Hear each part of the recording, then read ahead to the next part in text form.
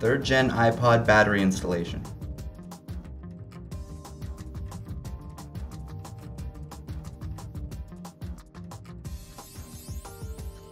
First, turn off your iPod, then activate the hold switch.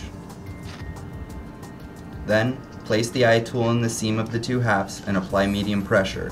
You may need to go back and forth until it opens, pressing firmly in and down to release the clips.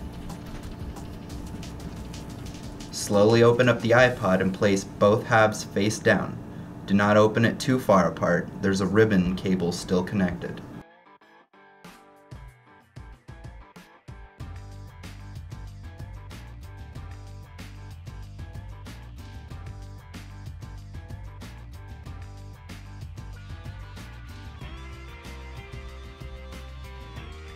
Disconnect the hard drive by lifting and releasing from the gold connector tab.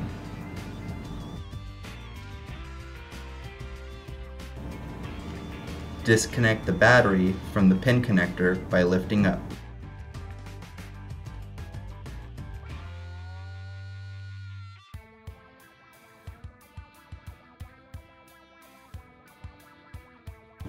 You may need to use the iTool to remove the battery. Be careful not to use too much pressure.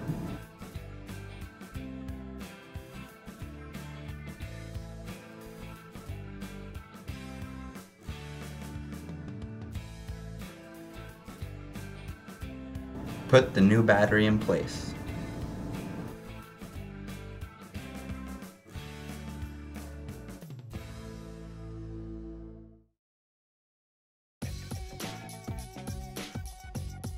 Reconnect the hard drive by gently aligning the gold connector tab with the connector on the motherboard.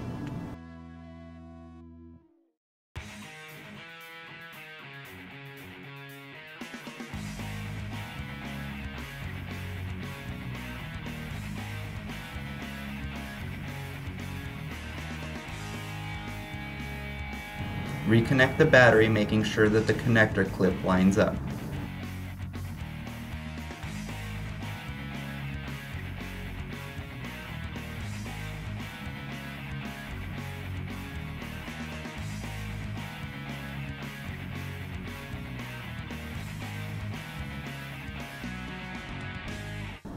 Then, close the case, making sure all the clips have snapped shut.